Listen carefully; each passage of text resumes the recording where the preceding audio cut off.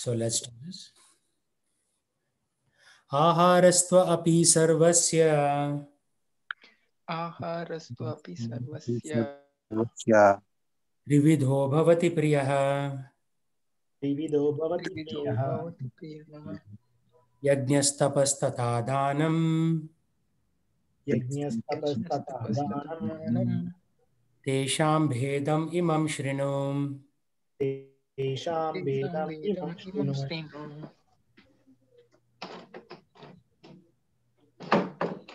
So, in this chapter, the Lord talks about food, right? So, everything is in three modes. Remember, we talked about three modes. Uh, sattva means mode of goodness, rajas means mode of passion, and tamas means mode of ignorance. So, even the food each person prefers is of three kinds. the same is true of sacrifices, austerities, and charity. Hmm? The same is true of anything, actually. So, in this particular verse, we are talking about these things in these three modes. Now, Krishna is saying here of distinctions between things that are done in the three modes goodness, passion, and ignorance. Okay, uh, Sarvana, please read the purport. Sure, Prabhu. Purport by A.C. Bhaktivedanta Swami Prabhupada, Srila Prabhupada ki jai. Purport. In terms of different situations in the modes of material nature, there are differences in the manner of eating and performing sacrifices, austerities, and charities. They are not all conducted on the same level. Those who can understand analytically what kind of performances or in what modes of material nature are actually wise. Those who consider all kinds of sacrifice or food or charity to be the same cannot discriminate, and they are foolish. There are missionary workers who advocate that one can do whatever he likes and attain perfection. But these foolish guides are not acting according to the direction of the scripture. They are manufacturing ways and misleading the people in general. Right? So, this is the key point in this particular verse. They are missionary workers who advocate one can do whatever he likes and attain perfection. And I have met such missionary workers when I was on Nagar Sankirtan, to talk to some Christian preachers. They say, Yeah, if you believe in Jesus, everything will be taken care of automatically. Which Jesus himself, by the way, didn't say. Right? So there is this tendency of people to manufacture their own religion, like we talked about last week. And not only manufacture, but then they become missionaries. Means they will try to convince other people that you can do whatever you like. So suppose if you go to any company, right? The company that you are working for, and if you tell the boss, it doesn't matter. I will invent my own way to do, do this new product. Will the boss be happy? Will the boss agree with your approach? No. No, Never. because the company has a particular policy. The company has a particular approach. Even between companies like Google, Amazon, Facebook, and I have friends in all three companies, the approach is different. And all three are immensely successful companies. You cannot go and say, Hey, ah, Baba, I gave from Google. This is how we do in Google. So, what will the boss say? Then, why are you working here? Go to Google, right? He'll say, You joined my company. You follow the process that I will recommend for you because we are an immensely successful company. And by doing this, we got successful. So, why do you want to impose some new technique on us? So when it comes to money, when it comes to career and livelihood, we are very, very methodical. methodical. But when it comes to devotion, we all of a sudden become wishy-washy. You can do anything that comes to your mind. Just like this preacher was saying, all I have to do is believe in Jesus. Everything will be taken care of. And the same thing is now creeping Vedic Dharma also.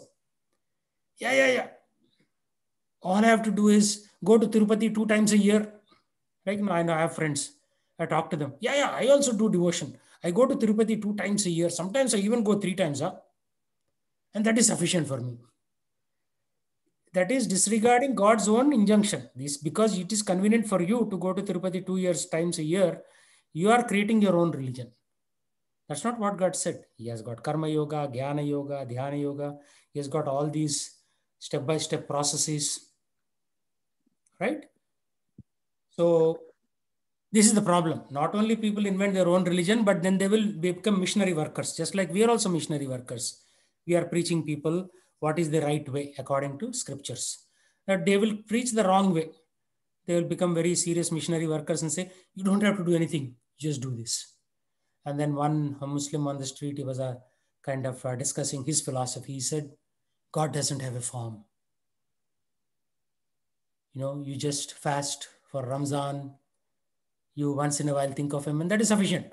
Done. You don't have to do anything else. So, in this way, even within the other religions, there are people who are simplifying the processes and coming with some weird thing. Like just this morning, I was shocked. I was reading the news. So, there was this one high school teacher or middle school teacher in Paris, France. So, what he did, he showed some cartoons the cartoons happen to be about Muhammad. So one of the parent or parent's friend or relative or somebody of a student, he heard about this. He became very angry that the teacher was insulting Prophet Muhammad. He went there and cut his head off, not like shooting, literally taking a knife and his head became separate from the body. The, the person who killed the teacher was not even in the classroom. He did not hear firsthand what happened Somebody told him something and he felt obligated to go and kill this teacher. And of course, police immediately arrived on the scene and shot him dead. So the teacher is dead, the killer is dead. What mission accomplished, nobody knows. Right? So that is the kind of foolishness people go through these days. They don't even know what's going on. They will hear somebody say something and then they will take matters into their own hands. So it is not possible and then Prabhupada concludes, these foolish guides are not according to the, uh, not acting according to the direction of the scripture. They're manufacturing base and misleading the people in general. Right?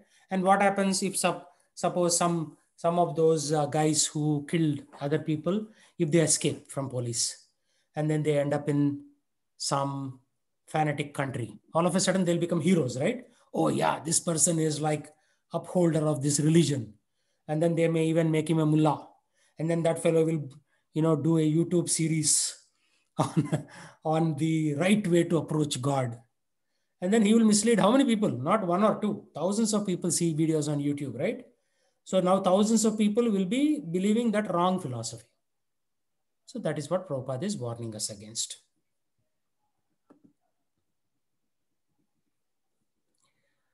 आयुसत्व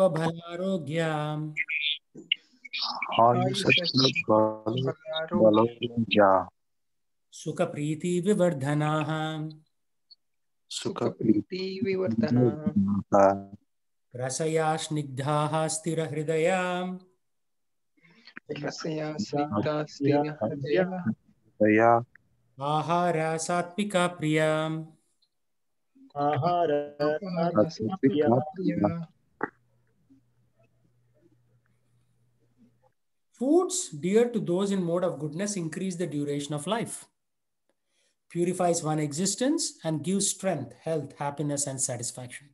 Such foods are juicy, fatty, wholesome, and pleasing to the heart. So, in this case, the Lord is talking about juicy fruits, creamy milk, right? These are all in the mode of goodness nice juicy vegetables, not like stale vegetables like that. So what they do, they feel fresh. Like when you eat a nice fresh salad and you eat a stale salad from two days ago, you know the difference. So something which is fresh, something which doesn't have meat, fish, eggs, something that doesn't have alcohol, wine, this, that, these are all considered in the mode of goodness.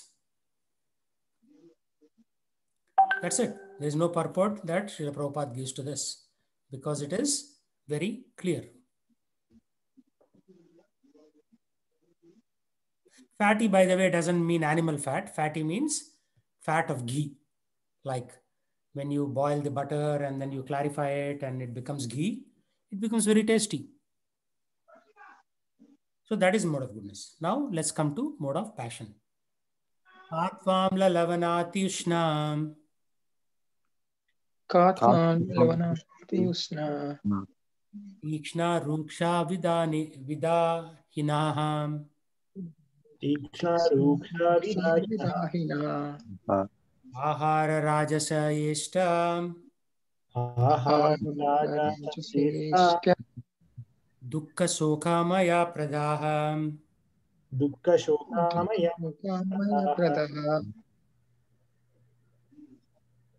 Foods that are too bitter, too sour, salty, hot, pungent, dry, and burning are those are dear to those who are in the mode of passion. Too bitter, not like bitter of Karela, Kakarkai. Hmm? Too sour, not like your regular sour rasam, but sometimes we will make it so sour, uh, put so much salt and then masala, gunpowder, so it becomes too strong. With that, passion rises hot, like too hot, not like just warm. Food should be eaten warm, actually. You should never eat cold food, both from a bacteria perspective as well as from a spiritual perspective. But too hot, again, it will put you into mode of passion. Pungent means too, too much spices. Dry and burning, like, you know, burgers, things like that, which are very dry. Food should be juicy and those are dear to those in the mode of passion. Such foods cause distress, misery, and disease. So, any questions on this one? Because most of the food these days in market is mode of passion. So it's not bitter gourd, right, Prabhu? So it's it's like foods that are too bitter. Yeah, too bitter, not bitter gourd. Karela is actually Ayurvedic medicine. Bitter Okay. gourd is very good for your health. It will kill all the bad bacteria in the stomach, that bitterness, but too bitter. Like concentrated Karela juice, something like that, right? And then there are so many bitter things, even in the Western tradition, uh, bitter sauces and things like that. They'll put you in mode of passion very quickly. But fresh bitter gourd curry is actually Ayurvedic medicine. Then comes mode of ignorance.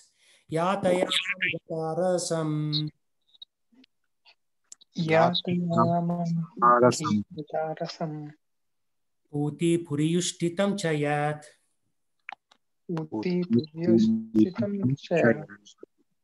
उच्छिष्टम् अपि उच्छिष्टम् अपि भोजनं तामसप्रियम्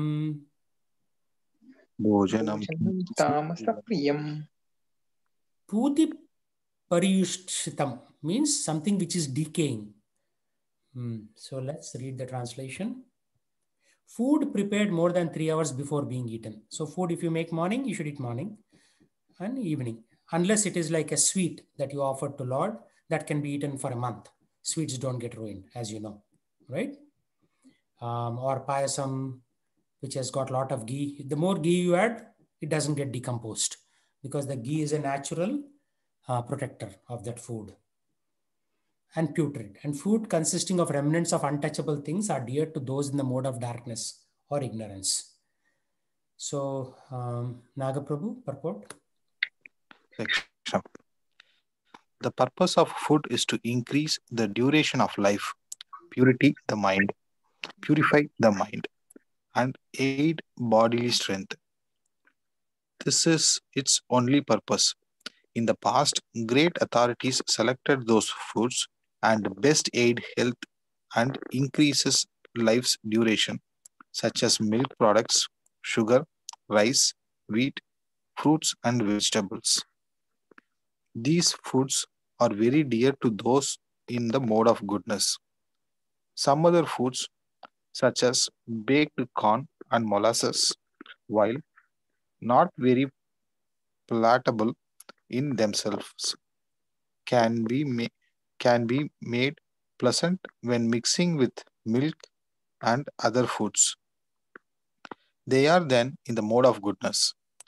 All these foods are pure by nature they are quite distinct uh, from untouchable things like meat and liquor. Fatty foods, as mentioned in the eighth verses, have no connections with animal fat obtained by slaughters. Slaughter. Animal fat is available in the form of milk, which is the most wonderful of all foods. Milk, butter, cheese, and similar products gives animal fat in the form which rules out any need any need for the killing of innocent creatures. It is only through brute mentality that this killing goes on. It is the only through brute mentality that is killing goes on. The civilized method of obtaining needed fat is by milk. Slaughter is the way of subhumans. Protein is amply available through split peas, dal, whole wheat, etc. Foods in the mode of passion, which is bitter, too salty, or too hot, or overly mixed with red pepper, cause misery by, by reducing the mucus in the stomach, leading to disease. Foods in the mode of ignorance or darkness are essentially those that are not fresh. Any food cooked more than three hours before it is eaten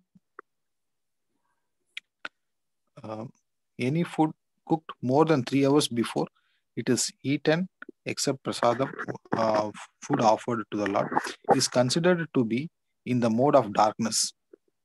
Because they are decomposing, such a food gives a bad odor, bad odor, which often attracts people in the mode of uh, the mode people uh, attracts people in the mode, but repulses those in the mode of goodness.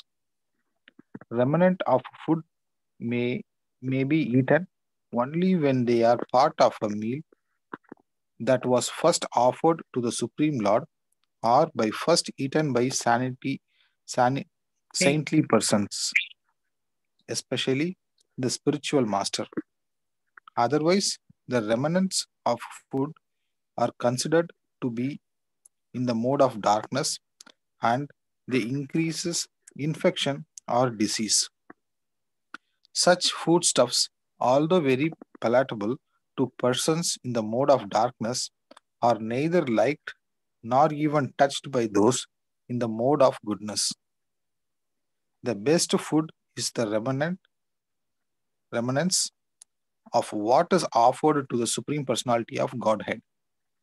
In Bhagavad Gita, the Supreme Lord says that he accepts preparations of vegetables, flour, and milk when offered with devotion. Patram Pushpam Phalam Toyam. Of, of course, devotion and love are the chief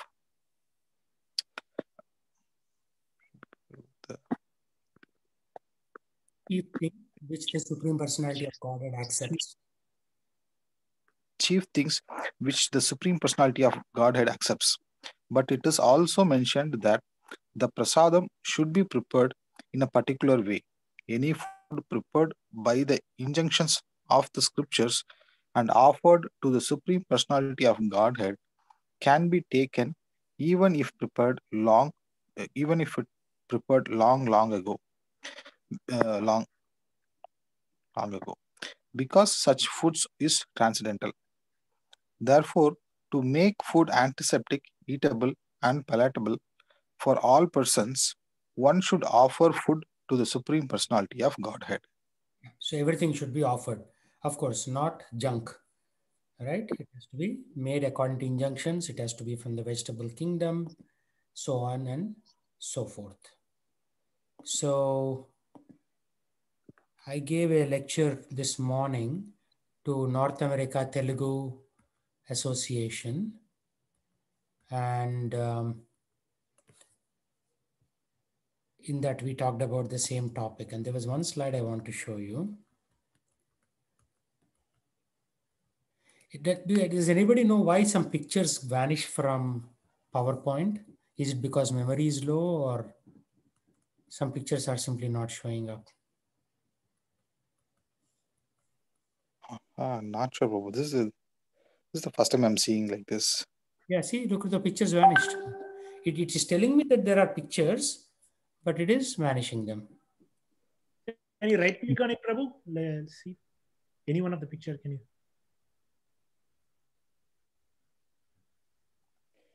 Yeah, looks weird, Prabhu, because usually this is not like a link. You are just inserting the picture here. Exactly. It is not a link. All these pictures I saw last week, they were all there in my PowerPoint.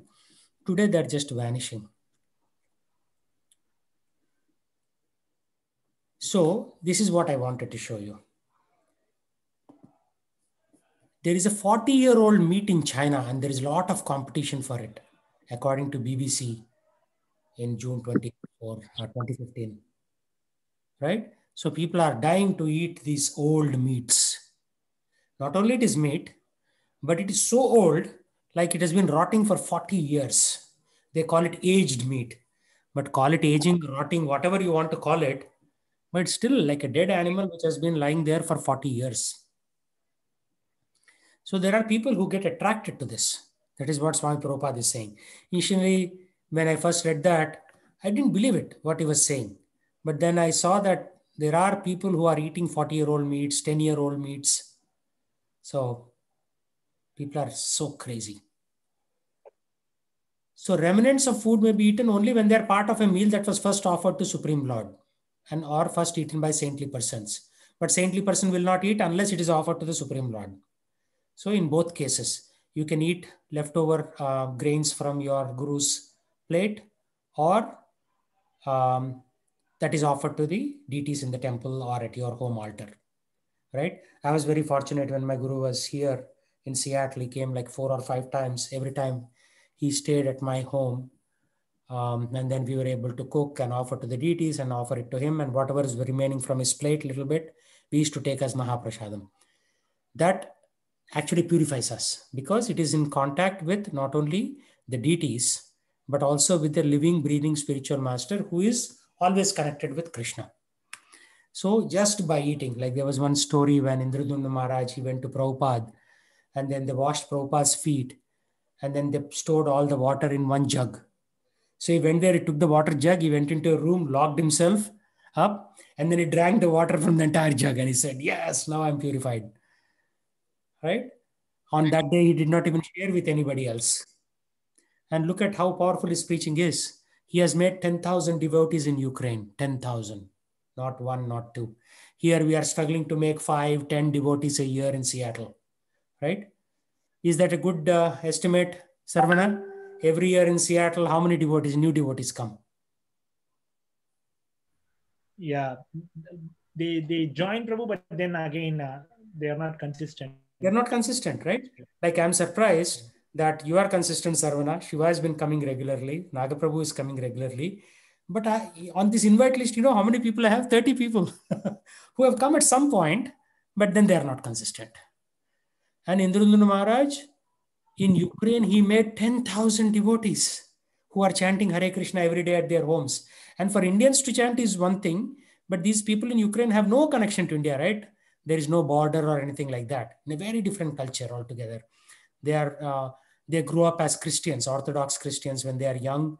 They are not even like Americans, although they look white. They are very different, right?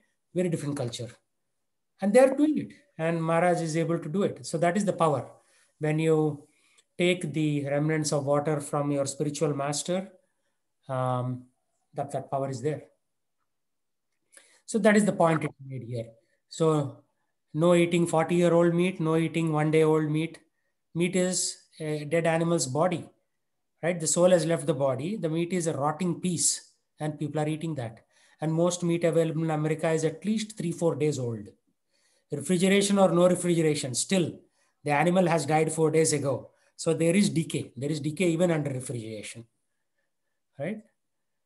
So that's what it is. That is mode of ignorance. But best is offer to the Lord from the vegetable kingdom every day, and you will see change in your own life. So it is a proven fact. I am a living example of that. And there are so many other living examples in the world. In in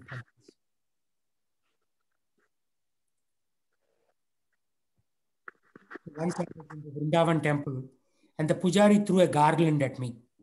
For whatever reason, he felt merciful to me. And then quickly a Russian girl came and she intercepted the garland in middle.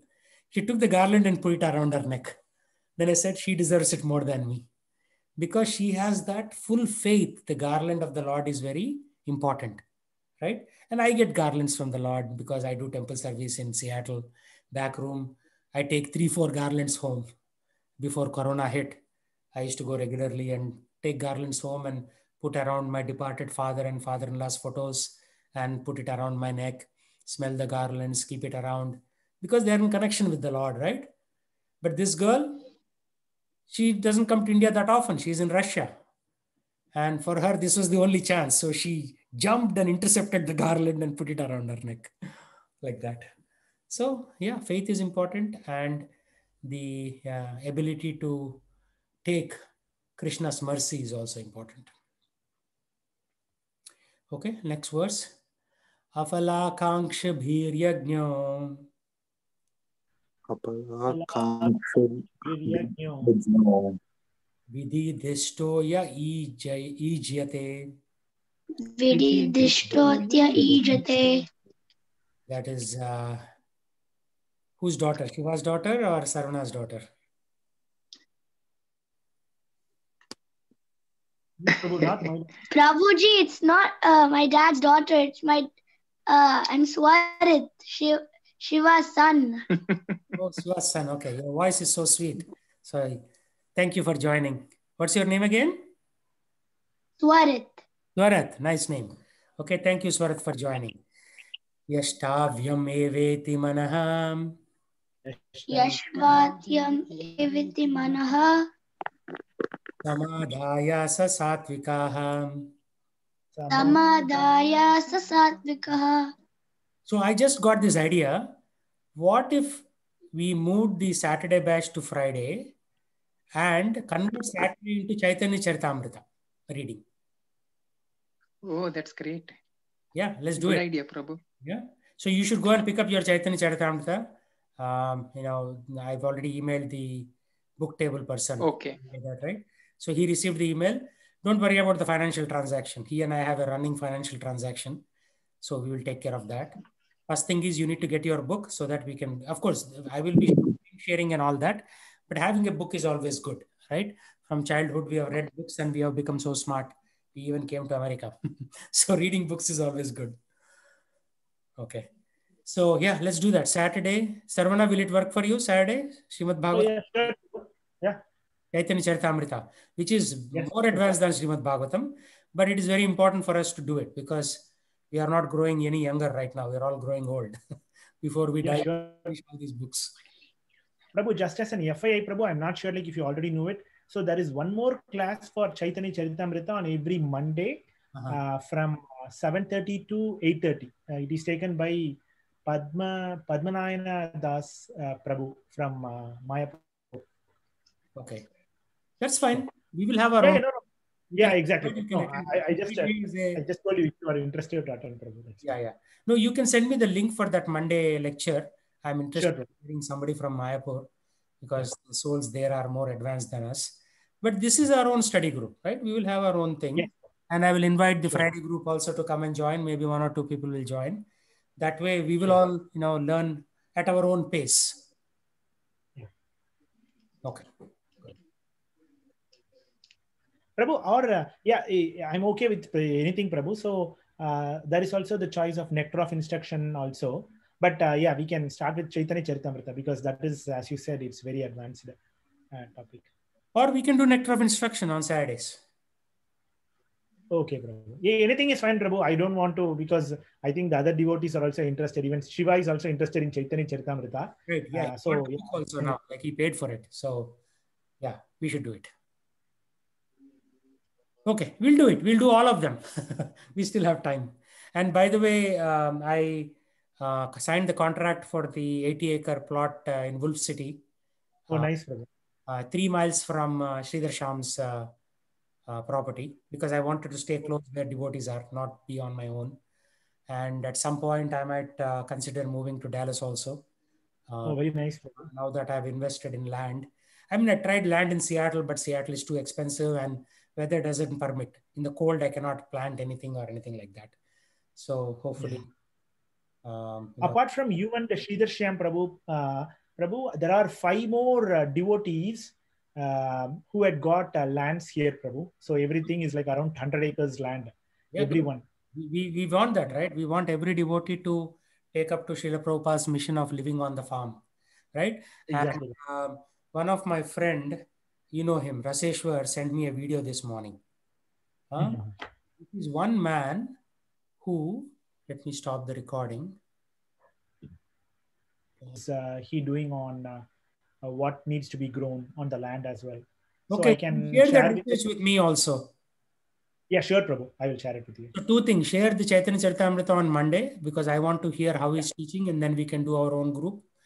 And second, Sure, uh, share his research because, you know, honestly, we are not experienced. Um, Yes, that's true. Uh, at least that Florida guy, he is in a local born American, right? He has some experience. We have zero experience. We are coming from a foreign country. So whatever knowledge is always available, we should leverage it. Yeah, sure. I will uh, send. Uh, already, I have a PDF document uh, of a book, Prabhu. So I will send that to you. Uh, Okay. it gives even Sridhar Shyam Prabhu is reading that. I can share it with you so that you can also start reading it. I'm, I'm also planning to read it tomorrow. Okay. Yeah, please send it to me, bro. That'll Sure, be Prabhu. okay. So is this resume recording? Take, for example, the performance of rituals in temples or in churches. Generally, they are performed with the purpose of material benefit, but that is not in the mode of goodness. One should go, go to the temple of church as a matter of duty. Or, and offer respect to the Supreme Personality of Godhead and offer flowers and eatables without any purpose of obtaining material benefit. Everyone thinks that there is no use in going to the temple just to worship God, but worship for ec- economic benefit is not recommended in the scriptural inju- injunctions. One should go simply to offer respect to the deity. This will take place one this will place one in the mode of goodness. It is the duty of every civilized man to obey the injunctions of the scriptures and offer respect to the supreme personality of Godhead. Very good. So what did you understand from what you just read? I understood that uh, no one should do something for something else in return. Like if I go to studies, I should not expect like some big bag of chocolate. Yeah, very good. I should do it as a duty. Yes, you should do it as a duty. But again, not like Ravana. He, th- he thought that his duty was to fight with Lord Ram. So we should consult scriptures on what our real duty is, right? Or sacrifice his younger brother's life, uh, Kumbhakarna's life, for his own personal agenda, because he had his own personal, uh, you know, uh, desire to capture Lord Ram's wife, right? Which he already captured. But then when Lord Ram came to claim his wife back, he was willing to sacrifice his younger brother's life and his heads and so many things, right? And ultimately, he himself got killed in the process. Very good. Okay, so we'll pause there for today and we will do our chanting. The most important thing. Okay.